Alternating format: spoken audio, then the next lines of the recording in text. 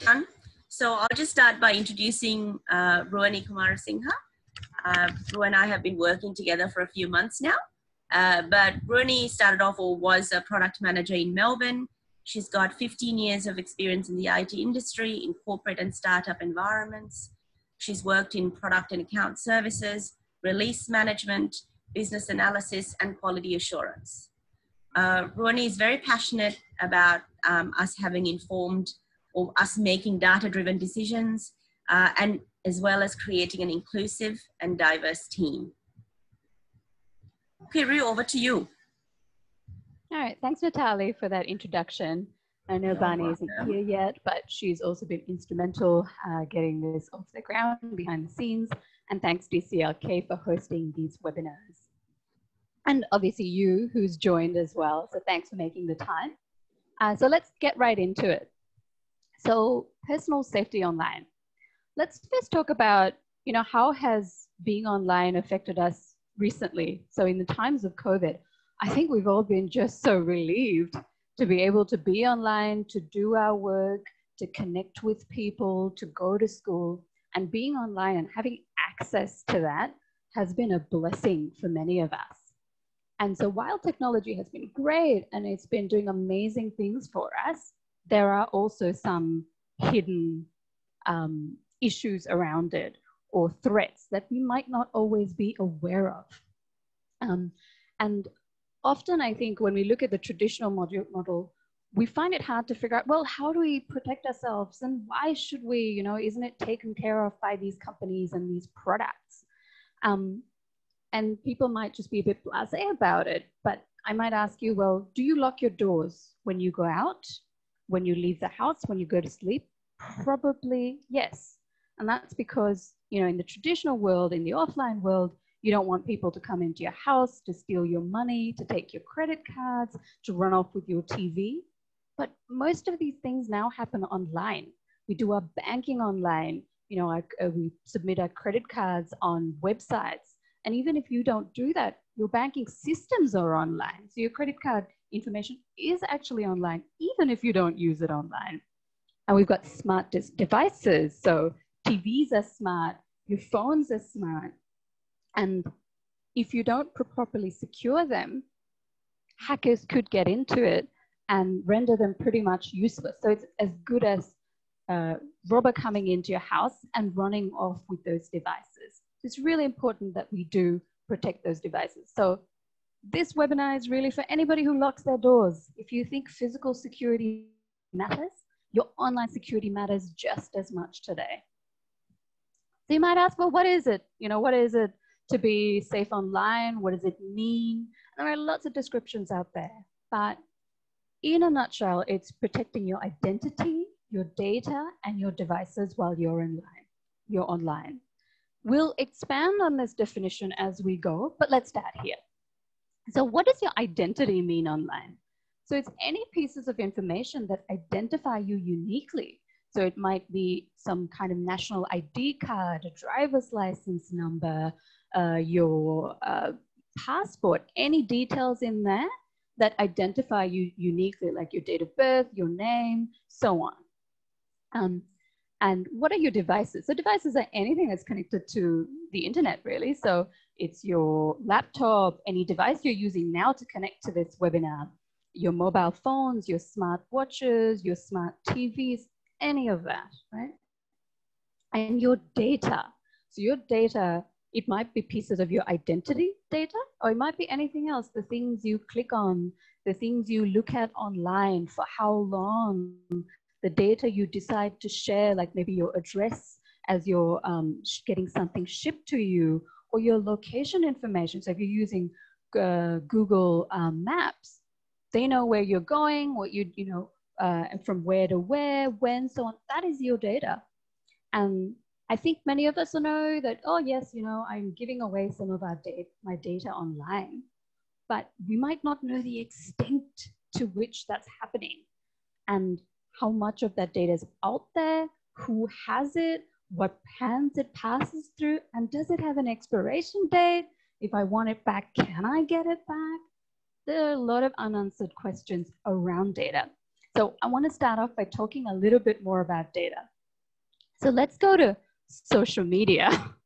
and so the, the model that they work off of is they gather data from all their billions of users. And I'm sure you consume some of these services. And I'm using Facebook as an example, but it's really any social media platform. So that's your Google, YouTube, even LinkedIn, um, Snapchat, Twitter, TikTok, all of them. So when I say social media, think of all of them, even though I'm using Facebook here as an example through my presentation.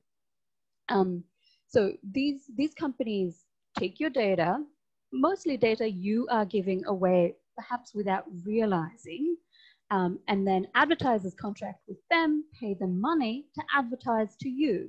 And they influence what you do, and they might even use techniques like fake news um, to you know, outrage you and get you to do particular things. So, uh, so make no mistake, they're out there collecting your data and then using it to influence your decisions and manipulate you. So here's a really sneaky thing that they do on Facebook.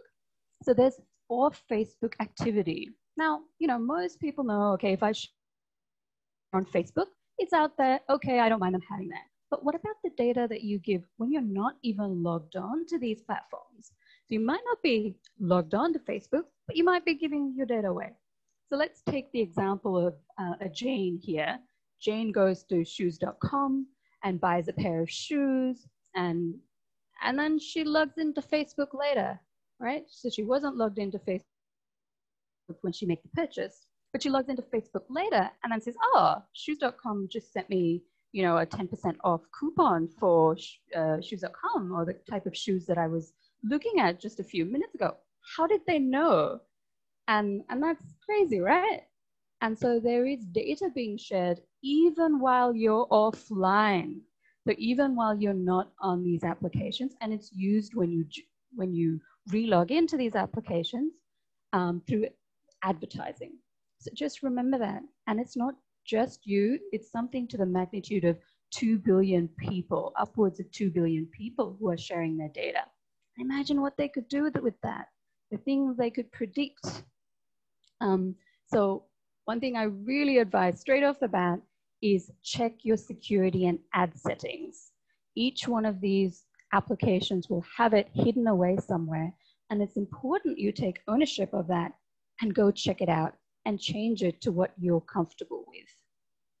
Um, so I might just take a quick poll here um, and see what you feel about this question. So, so just expect something to pop up on your screen and please just select your answer. So I'm asking you, have you seen an advertisement that makes you think your microphone is listening to you? So it's yes or no. So let me know what you think.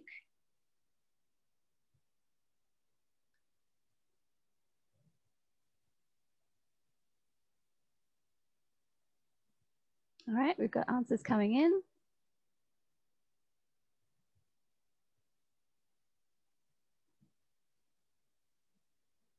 All right, anybody else want to make a selection? Okay, so let me just end the poll there. And let me share the results so that everyone can see it. So this was anonymous, by the way. Uh, so we had nine people say yes, they thought their microphone was listening in on them, and four people who thought no. Um, so a majority of you do think, oh, well, we're probably being listened to. And it might not be that, but it's that so much data is gathered, so much data is gathered off of us that these algorithms that work behind the scenes, that's basically code that predicts what you will do, predict it so accurately that they can advertise to you before you really made it be public. So isn't that crazy? They can use our data and the data of billions of people to predict what we might want next, to, to the extent we might think, hey, are they listening to us? All right. And to drive in other threats out there, we'll watch a quick video. So I might suggest that everyone put their volume up on their devices right now so you can hear well. Here we go.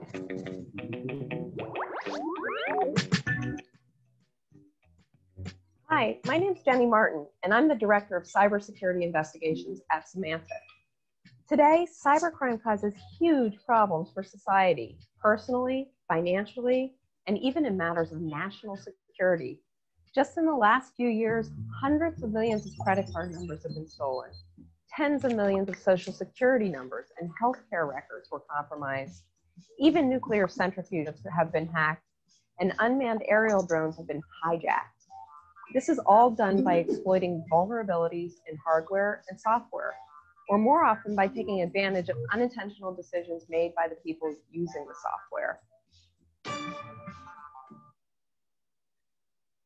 So you got a little bit of an idea there about other areas where there are threats as well. And what I want to highlight here is that it's mostly because of unintentional decisions by the people using the software. And that is you. and which is why what we do online matters so much. So, who should care? You should care. And think about all the other people in your household as well.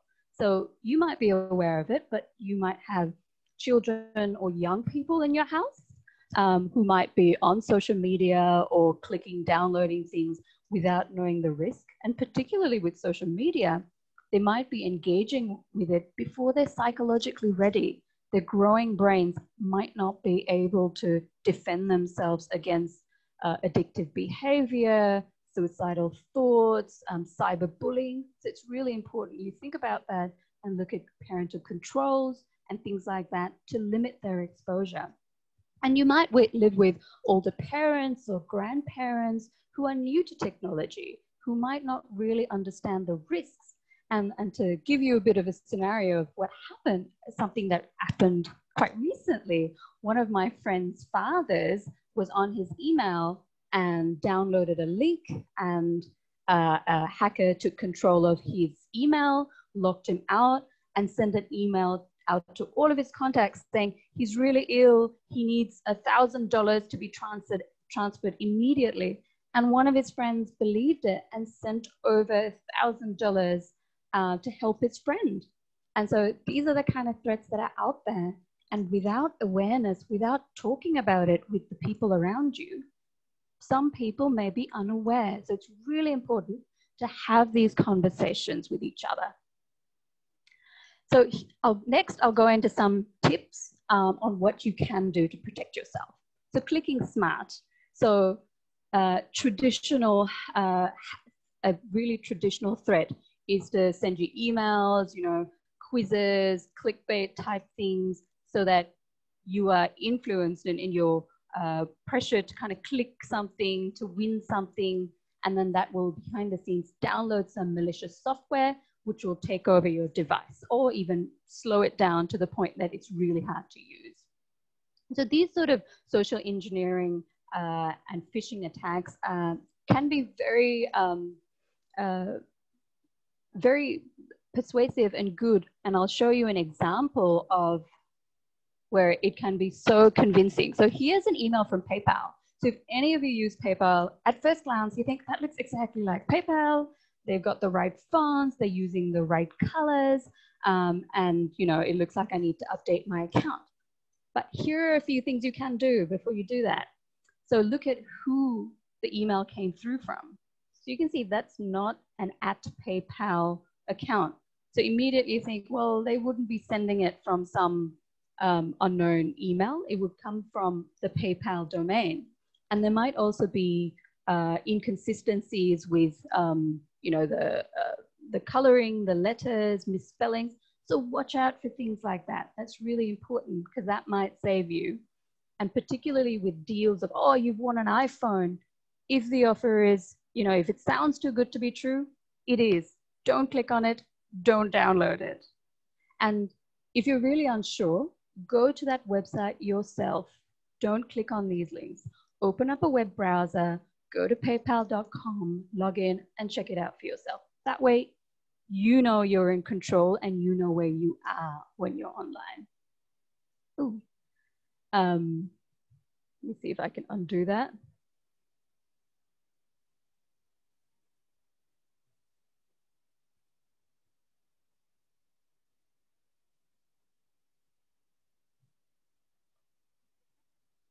give me just a quick minute to fix that up.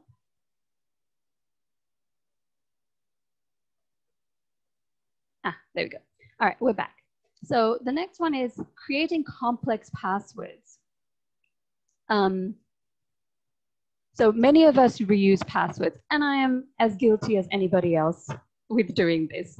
And you think, oh, well, you know, I can't remember 10 different passwords across my different logins. I'm going to use the same password. I'm going to use it with, you know, adding one or a, a, an apostrophe at the end or something like that. But this is really, really bad practice because hackers know we do this. So imagine the scenario where your email account was hacked into. So hackers got your email and your password and they're able to log in here. What they do is they'll try other websites as well. They know that most people also use PayPal and you know shoes.com or Facebook. And now with one hack, they're able to get into so many of your accounts. So don't reuse passwords. And, a, and an easy way to do this is to use a password manager software. So this software, what, is, what it does is it helps you not only um, create strong passwords by default, it also helps you save it. So it's an organized structure. It's like a, you know, think of a folder structure. It's a structure where you can save all your passwords and your login details so you never have to remember it. So you only have to remember one password ever again. But that password you must remember. And it also lets you track these things or um, coordinate across devices. So if you're logging into email on your tablet um, and on your laptop and on your smartphone, you can, you can use this password manager across your devices as well. Um, and some, uh, some software, some applications like say your email will also give you some recovery security questions and use those and save that in your password manager as well. Another thing you can do is to use multi-factor authentication. This is, this, this is actually just a, another level of security over and beyond your password. They, this application will give you a one-time password um, and this one-time password has an expiration on it. So to give you an example to make that clearer, if you go back to um, that scenario where you're reusing password, sorry, where your email was hacked. So your email is hacked, they've got your uh, login and uh, your password. Now, when they're trying to get in, if you also had multi-factor authentication, they wouldn't have access to that token that's generated on the fly and is time-based. So they actually wouldn't be able to log in. So that eliminates a lot of risk. And even if hackers get your uh, password, they're not able to get into your system um, web browsers and search engines. So web browsers are what you use to access the internet. So things like, so if you're on a Windows platform, generally it's Microsoft Edge. If you're on a, if you're on a Mac, that's Safari. But there are lots of others as well. So there's Google Chrome, that's really popular. But remember, anything that has to do with Google is mining a lot of data off of you.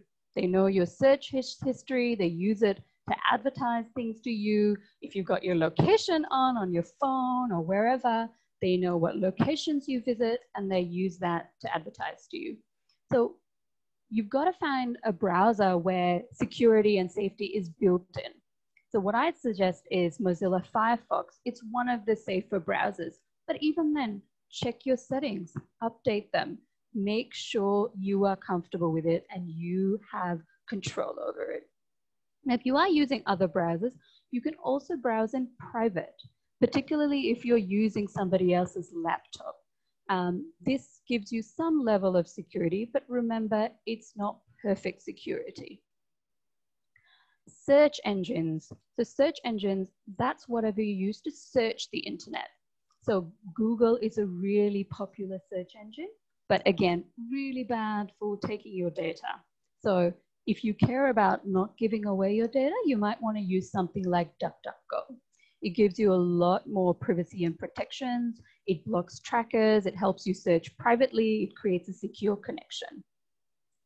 Uh, now, if you care about the environment and you'd like to also plant trees while you securely browse the net, you can try Ecosia. So Ecosia lets you search and it's much more secure than, you know, the likes of Google. Um, and they also plant trees behind the scenes for you. Oh, and just a quick note, remember we spoke about offline data um, shared to Facebook. Um, so even when you're not logged into Facebook, how other applications send their data. So something like DuckDuckGo blocks trackers. So trackers from Facebook, from these applications can't get your data while you're browsing and share it, share it with your social media accounts. So just a quick tip there. Network security. So use a password protected router. Generally at home, we do this, but now when we're out and about, we want to be connected. So we tend to just join unsecured networks, share data. I'd suggest you don't do that. Now, even if you do, try not to give away sensitive information. Don't send your bank details or your credit cards around while you're on unprotected networks. Um, you could use a VPN. So that's a great way to create a secure channel between the device you're using and where you're sending that data. It's virtually untraceable, it's secure and encrypted, so that's a way around it. A firewall. So a firewall creates an electronic barrier around your whole network that protects all your devices. Uh, and generally it comes uh, it comes default with comprehensive security software. So if you're getting any security software, you might, you might want to check, does it include a firewall, which, which would be great.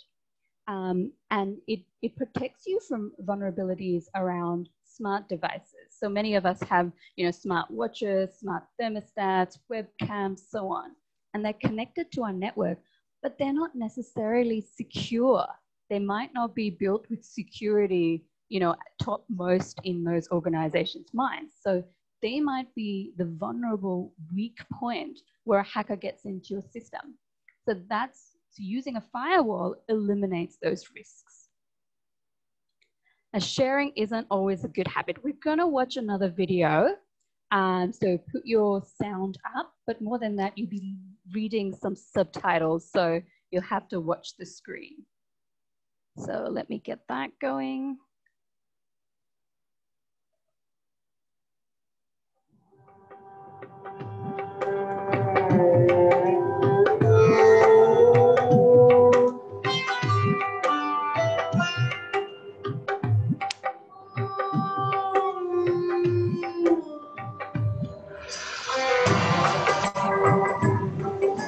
Ik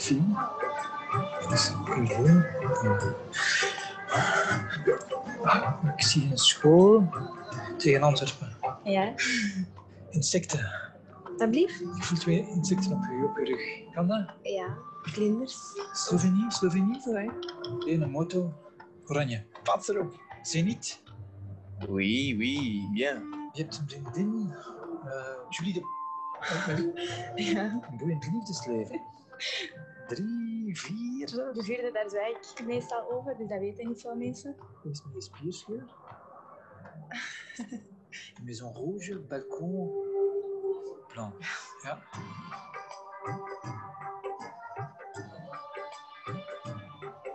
We can't actually see the Ik video. zie eh, transacties, maar kent je rekeningnummer van buiten? Ik denk dat ik het wel weet. Er staat wel negatief op je bankrekening. Ja? 9, 7. Last month, you mm-hmm. spent 200 euros on alcohol.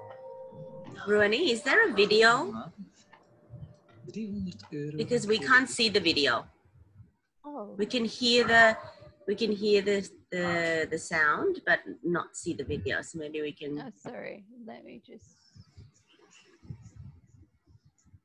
Okay, perhaps I wasn't sharing my screen. All right, can you see the video now? Yes. So maybe start at the beginning. Sorry about that, folks. Yeah, we'll restart.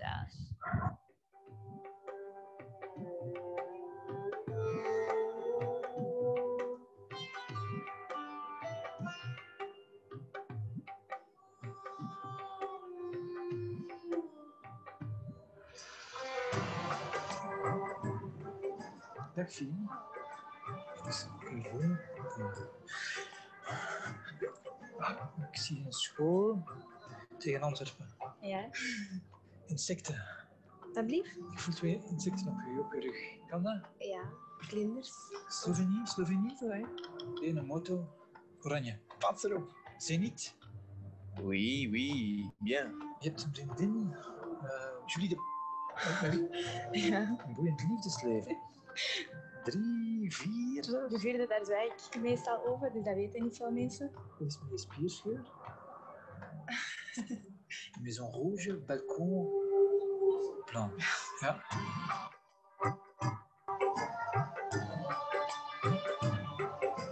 Ik zie geld, ik zie eh, transacties, maar kent je rekeningnummer van buiten? Ik denk dat ik het wel weet. Er staat wel negatief op je bankrekening.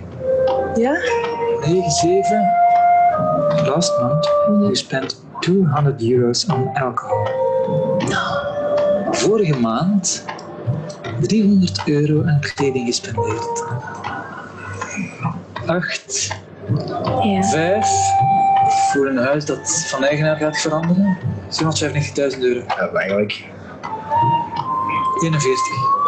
Ja, Is dat juist? ja dat is juist.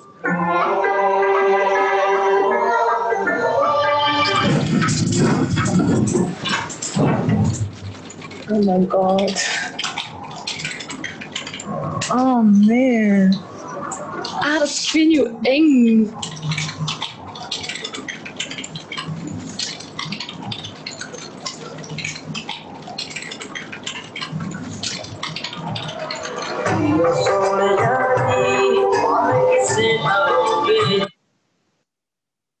So that would have given you an idea of the type of data that we share and what people can, can get out of it. So across all of these places we share data, there's so much about us out there and a hacker can very easily get to those things. So be very cautious about what you share online because sharing is not always a good habit. Online, sharing is not good, a good habit. Don't share your data. Um, and often there'll be lots of products and services that claim to be free, but they are not. You're paying for it with your data. You are the product.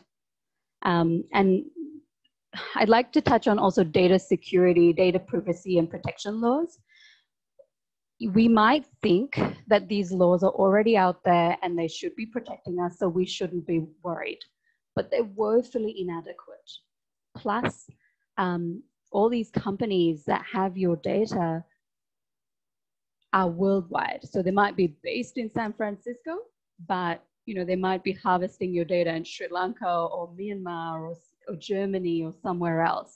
So in terms of the law, there might not be all that much protection to save you somewhere else as well. So there needs to be better data privacy and protection laws, and we should definitely push for that. That is one of the solutions to this.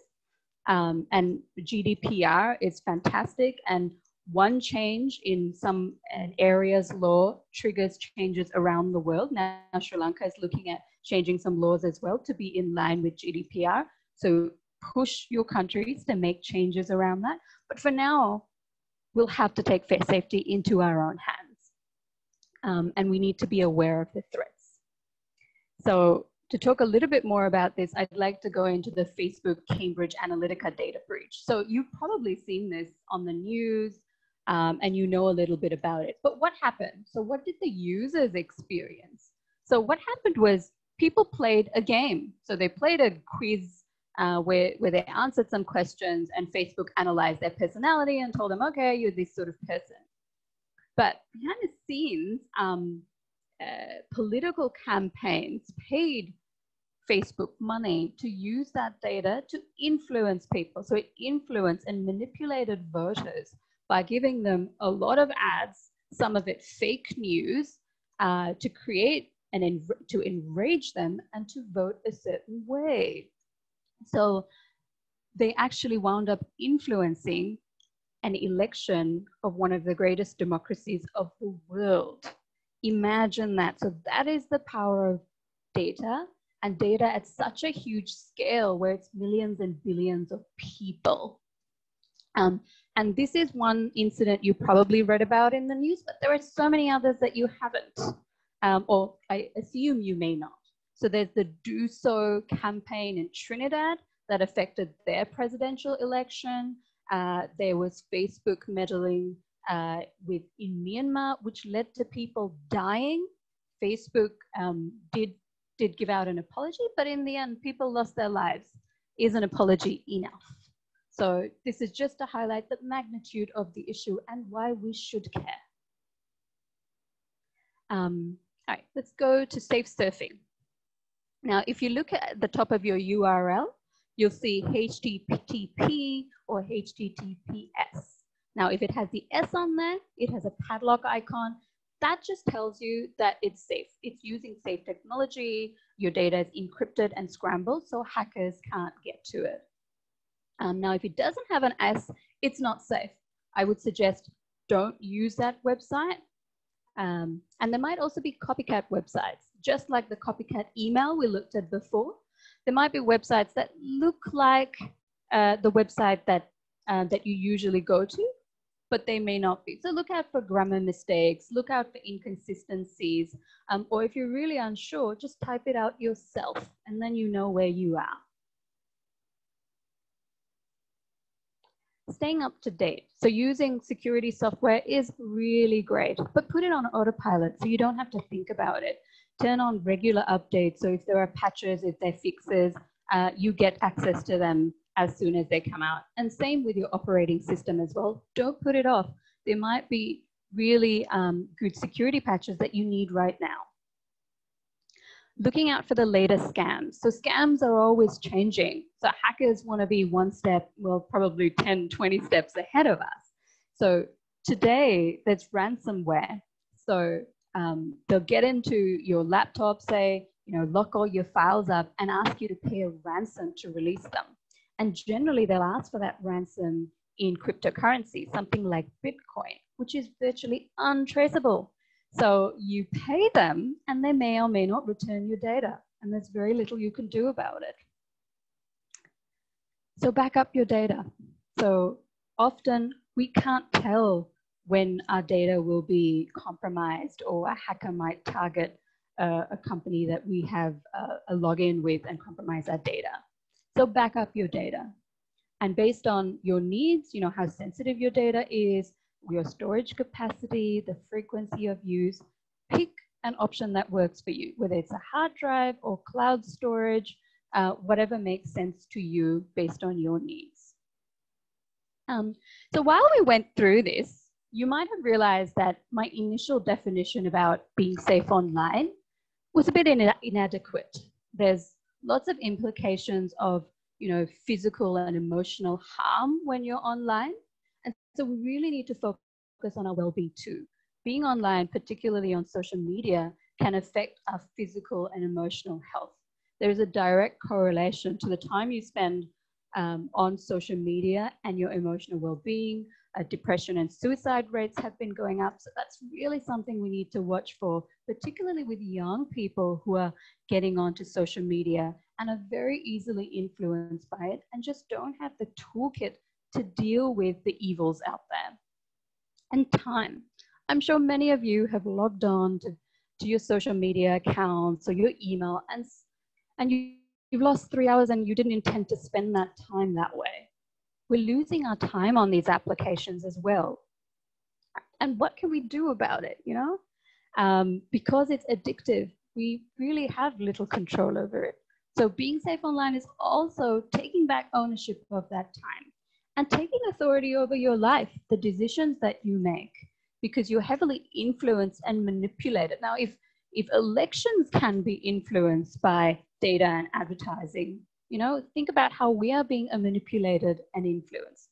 So we need to take authority over our life, and that's part of being safe online. Now, I'd love to talk more about it, uh, but we're running out of time. So we, we, what we thought about was in future sessions, we'd like to address things like tech addiction, you know, how it happens, how they've worked with our psychology, and psychology experts are helping design these applications. Fake news, fake news travels six times faster on Twitter than real news. So how are we consuming the truth, you know? Cyberbullying, and particularly around with young people and how it's affecting their mental health. Reporting incidents. What happens when these incidents happen? What do you do? Digital hygiene. So in the time of Corona, you know, we're always talking about hygiene, wash your hands, wear a face mask, but do we talk enough about digital hygiene? We're using more and more time, we're spending more and more time on our devices, but we're not having the conversations about how to do it effectively, to use technology to your advantage and not let it use you or your time. By the way, How to Break Up with Your Phone is fantastic, easy to read book, and I highly recommend everyone um, read it. And better goals for technology. Now, these technology platforms were created by people who may not have intended this to happen, but now they've created a monster. But perhaps if we had better design goals, better goals for technologists, things might be different. And this is really something technology companies should be looking at. And as users, what we can push for as well. And I'd also like to look at, you know, how we can push um, change around data privacy laws and things like that as well. So in future sessions, we will cover these. And I'd like to take a quick poll just to see which areas influence, uh, sorry, which areas interest you um, so that we can decide which ones we do next.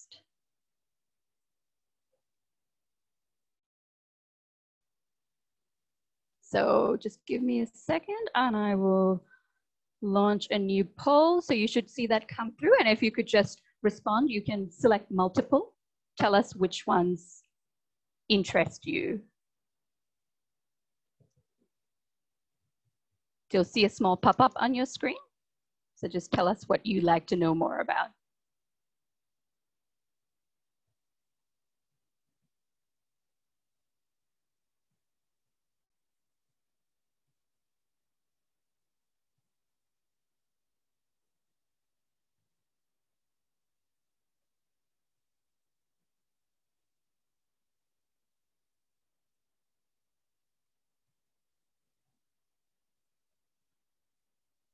All right, great. I think we captured everybody. All right, thanks for that. Um, so I just want to go back to what you can do. So I'll leave this screen on here while we go into Q&A uh, because I think the most important thing out of these sessions is for each one of us to think, I'm going to do something to protect myself online. So pick one. Pick one that makes sense to you.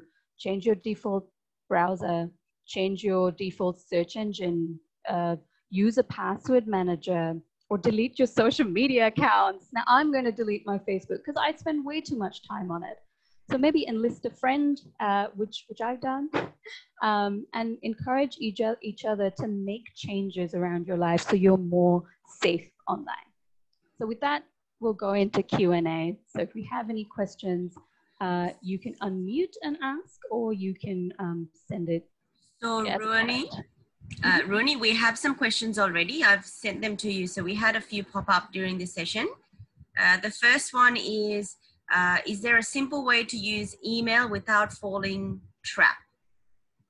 Without falling, oh, so you could use other software that limits your time. So it says, okay, I'm only allowed to use this application for 20 minutes a day.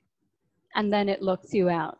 So you can use something like that to, so that control is outside of your hand, hands and it's time-based. Great.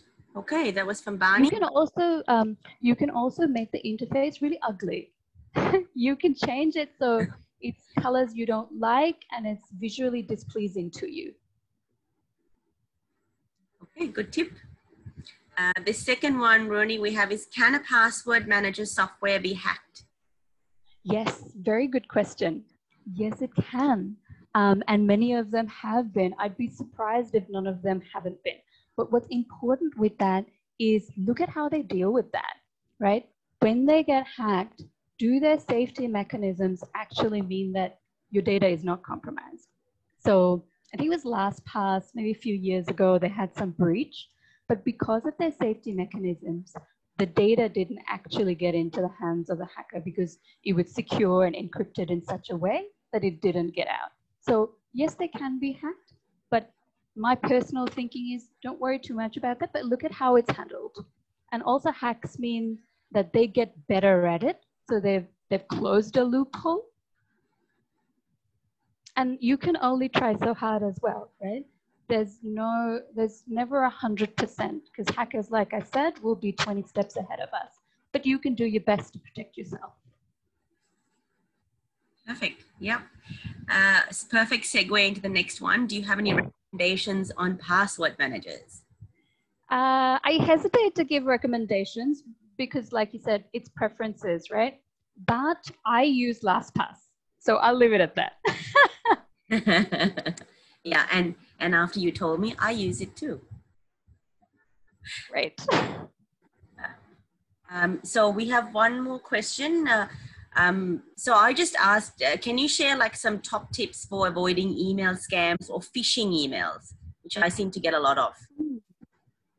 Yeah, so it's hard to completely eliminate them, but you can just look at your spam settings so those emails go to your spam. Uh, another thing you do it could do is now I know I get a lot of um, PayPal scam emails. I don't even read them anymore. I just don't read them because I know they're scams and I log into my um, um, I log into PayPal, you know, straight off from the browser, so I know where I'm going. Um, trying to think, is there anything else? Um, uh, for you know, for, for certain applications, you might find I actually don't need notifications. Just turn them off. So if you didn't know need them and you turn them off and you know you're still getting emails from them, that's probably a scam email. So that immediately tells you, I don't need to look at these. It's scam. It's a scam email. Um, but mm, you could also, there are ways to like, if you hover over a link, it does show you like where it's going. And if it looks kind of scammy, that'll be a, a giveaway. Um, and they say, you know, don't click on tiny URLs. Uh, you can check on the email addresses. This, you know, you can and if you think it's genuine, you can just ring that person up. Don't use that same email because it might be going back to the hacker. Use another form of um, another avenue to get through them. Call them or use another email you know is theirs, um, and check with them. Um, yeah, uh, I mean, I have had a few, and I've been caught um, out, almost caught out. Uh, but I think it's also just using that common sense, you know, where you you ask questions. Like I had somebody email, uh, message me um, on WhatsApp about some furniture that I was selling. And then the conversation kind of evolved and it seemed a bit off after a while. So I think sometimes you know when a robot is speaking to you or a computer is speaking to you. Um, it's sometimes a bit off with language as well. So that's just some experience I've had. Uh, we have another question. So um, are companies collecting data via voice and camera when we uh, when we aren't aware of data collection? Uh, so many of these applications, when you when you log in, it says, you know, we'll take access to your your your camera, to um, you know your uh, your photos, things like that.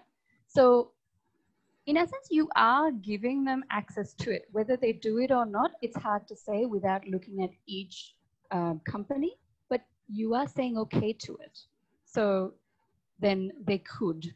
So assume that they have access to it, then it's hard to say with, you know, without knowing the exact company and looking at their practices, uh, whether they do or don't. Okay. Um, I think Shirani has a question. Uh, Shirani, do you want to ask Rooney your question? Hi, Rooney. Hi. Thanks for the information. It was a great session. Thank you. Thanks. Um, so I just want to ask, I've never used DuckDuckGo or Ecosia.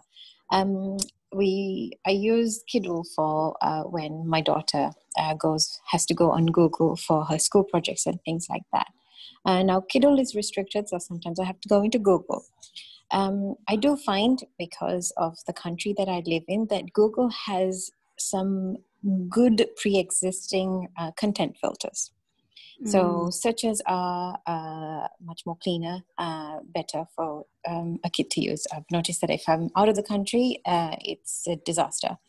Um, do browsers have, like DuckDuckGo, have inbuilt um, content filters, or is there a way that I can go in and set up content filters?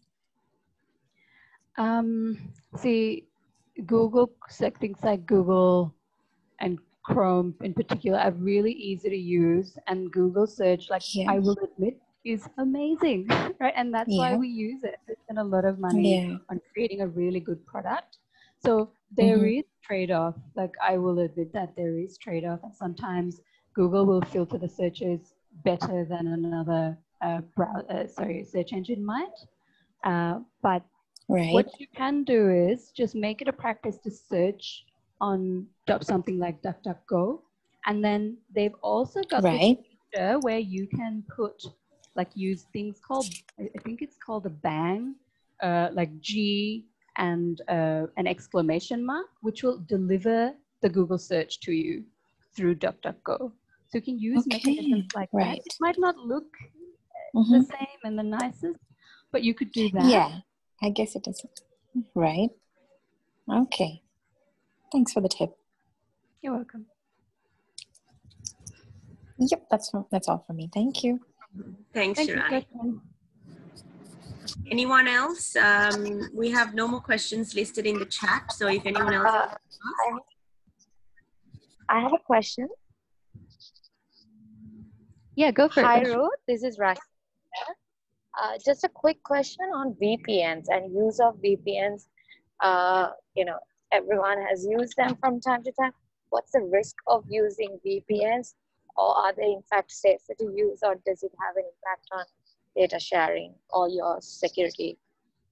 Mm, using a VPN is good, uh, but I mean, if you've got other devices connected to your network, um, there might be some vulnerabilities.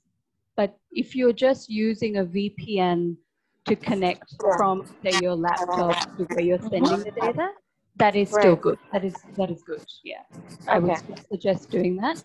Uh, but if you had, say, a firewall around your network, that's even better. Okay, got it. Thank you. You're welcome.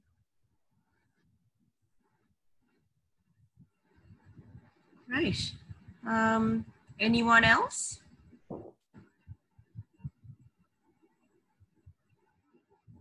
As Chris here, I've got a maybe a question, but more of a sort of discussion topic, I think. Go for it. Um, so I'm a bit of I'm in Australia at the moment. Um, I work in uh, IT for healthcare. So I've got a, an, a sort of a viewpoint on this that I think definitely we need to be concerned with our data privacy for things like medical records and all that sort of stuff because it's incredibly uh, valuable on the black market. I think it's one of the most valuable commodities on the black market in terms of private data. But I also think there's a flip side to data privacy in that, uh, which is evident through COVID, especially in that we have probably the best tracking data for the pandemic existing already in places like Google and Apple, but unfortunately we're, we're unable to use it. And I think there's it's really interesting to see that sort of dichotomy between privacy, but also how it could be used for good in the sense of you know people's location. It can track exactly where they've been, who they've been with, and you could actually track the spread of an outbreak so much quicker if we had access to that data than what we can currently because we've got Australia's got you know the Australian government's got an app, New Zealand's got a different app, Singapore's got an app. You know everywhere's trying to do it their own way, and it just it seems like a very inefficient uh, way to do it. So, so yeah, I'd be interested to get your thoughts on what you think about that. Yeah, no, you bring up a really good point. And it's, and like you said, it's not that data is a bad thing, and we can do a lot of good things with it. And, you know, you being in healthcare, you see the reach of data and how you can sort of predict things and you can suggest things to, to patients. And the, I guess, when you have billions of data points like that, you, you can save people's lives as well. So I definitely agree and it's just that I think um, legislation needs to capture, you know, when it can be good, when it can be bad, and I think, and I don't mean by any means through this presentation to say that data is bad, right? It can be used for good. So I, I completely agree with you, right? I agree with you. It's just figuring out when it'll it's used for good, we help it and we encourage it. And when it's used for bad, you know, there's there's laws that protect us against it. Yep, totally. Yeah, but thanks for bringing that up, Chris. And and this the whole idea of this presentation is to create conversation like that. You know, some of it, you know, we're going into territory of where we don't know what's right and wrong as well with this, right? And just talking about it, making yourself aware, I think is is the way to go, and then we'll figure it out. Also, Ru, um, in Sri Lanka, I find the there's there's lack of data. So there's a lot of government departments. We have the data, we're either not collecting it effectively. And I mean that's a good thing and a bad thing because we certainly don't have the legislator or the bodies or the regulation around the data collection, storage, and use. Um, so I think it's a it, that's a really interesting point that Chris brought up. It's I mean we need to collect more data in Sri Lanka because we don't. Um, but I have a feeling we do. We just don't know how to use it, or we're not effectively collecting it so that it's in a format. So um, It's sitting in a file somewhere. yeah, I mean uh, for everything. I mean in even an offline file. Correct. Government departments, they're not even collecting the right amount of data to even make decisions. Um, they, they're not even collecting it, so it's in a usable format that we can interpret it. It's a, it's a data is a, is a big issue, and it's and this session is definitely not about the data is bad. It's just about the effective use of it and making sure you're Yeah. as well. Yeah. Yeah, and I guess it comes down to the, uh, you know, you, we're happy for our data to be used in certain circumstances, but we want to be able to control it, which is more what this presentation is about. So yeah, it's, it's a really, Correct. really good thing. Yeah. And I'm really worried about sharing my data here, to be honest, because we don't have any regulation or any bodies uh, to look after us. In Sri Lanka. And it, and it was a really good point that Rube brought up earlier too. The fact that because we've been looking at that at at work at the moment, that even though we're collecting data, it depends on where those data servers reside. So if they're residing overseas, then they're not covered by Australian lis- legislation. Yeah. Absolutely. And like, and the thing is, sometimes when I think about, you know, I'm not an expert on the law, and sometimes it's hard to wrap your head around. It's like, how does this work? You know, what are the protections and so on? Because it covers so many different disciplines, and you might have experience in one and not the other. So it, it can be difficult to get your head around, and and it's the same for me too. And we learn as we go. I think it's yeah, creating the discussion. So I'm really glad you know people have been bringing up questions and suggestions and talking points. And if you want to bring up anything more, and if there's anything else you know you'd like us to cover as well, um, use the DCLK uh, contact details and, and Yes. let us know as well. If anyone wants to join, um, okay, we'll, we'll wait for any, any more questions, everyone?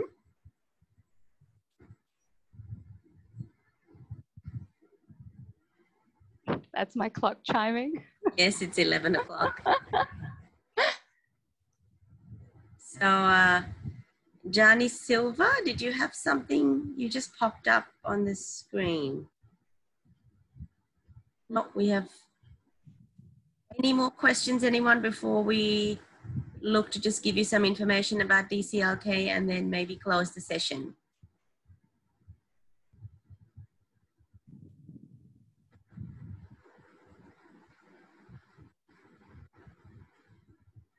Okay. So if anyone uh, wants to join DCLK, um, we've got um, a button which, and you can even go on Facebook. We've got a Facebook page. Uh, and any questions post this session or you have any questions for us, uh, want to connect with us, please use diversity collective uh, lk at gmail.com to do that. Um, the next uh, last slide before we close is just how you can probably get involved with DCLK. Um, we'll move on to the next slide. Um, so you can volunteer. Uh, I can't see the slide, but I'll continue. Yep. So you can subscribe, absolutely. So you can become a member um, and uh, and come to our events and work with us. Now Rooney's a member, so she you can run your be a part of the webinar series. We've also got uh, a thousand voices video, which is uh, people sharing their stories about diversity. Um, you can volunteer. I started off with DCLK by volunteering before I uh, became um, got onto the board um, and sponsor. That's really where we would love your support uh, because we need to go into these into our communities, into our workplaces, showcasing women uh, being role models, and with your support. So for a sponsorship of an event, uh, it's the way to do it. So just to give us a bit more visibility and build our presence as well. So thank you. I know most of you are uh, members, but if you find somebody uh, or you meet somebody who wants to join, who wants to be a part of a bigger network, please advise them to join, contact me, uh, or, or just sign up via the Facebook page. Thank you, everyone. And thank you, Rue. Uh, that was a great session. And thank you for the discussion, uh, all the tips. Uh, and yeah, if you want to say a few words and then we can close. Yeah, thanks everyone for joining and especially DCLK, um, Natalie and Barney for coordinating things behind the scenes as well. So thank you. Yep. Just remember to, to do your action items. Remember, I'll go back to that. Yes. Just do something today. Yeah. Yeah. Great. Thanks everyone. Thank you, everyone. Bye bye.